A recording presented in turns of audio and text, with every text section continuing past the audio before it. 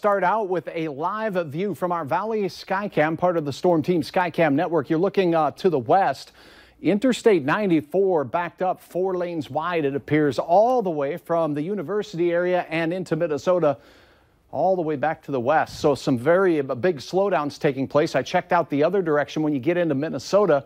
The westbound lanes there are also backed up. So a slow and go commute tonight across Interstate 94 east and west through the FM area. A band of heavier showers moving through the southern Red River Valley and in the Devil's Lake Basin where you see the yellows and oranges. Some bigger raindrops uh, taking place there as well. Much of northwest Minnesota also seeing showers. We can see the heaviest of this band is pushed off to the north of the FM area, and then these are coming at us from the west. So another band of moderate to heavy showers pushing this way as an area of low pressure is spinning through the area. We also have heavy showers from Devil's Lake all the way south into parts of Stutsman County at this hour.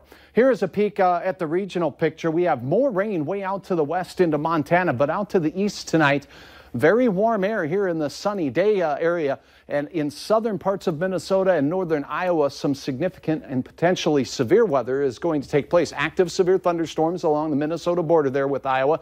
And we do have a tornado watch for southern Minnesota from the southern uh, Twin Cities metro area all the way down to the Iowa border as we go through the evening. Look at the cold air already in Williston. Where you see the blues here, that's estimates of temperatures in the 30s.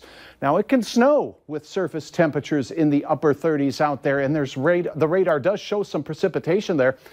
It's possible we could have a couple places in western North Dakota reporting a mix of precipitation as the system exits their area. For us, we're too warm for any of that uh, nonsense here. Temperatures will generally be in the 50s this evening, and that's where they sit right now. 53 Grand Forks, and right now out at Hector, 55 degrees with a moderate shower continuing we have a 54 as a dew point. When the temperature and dew point are that close, that drives that humidity way up there, 96%.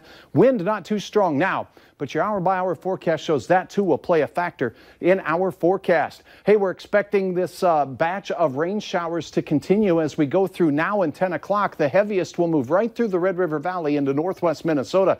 Notice a continuation of precipitation out to the west with temperatures in the 30s there. Advance this through the overnight, and it takes till about 5 to 7 in the morning before some of this exits. Look at this.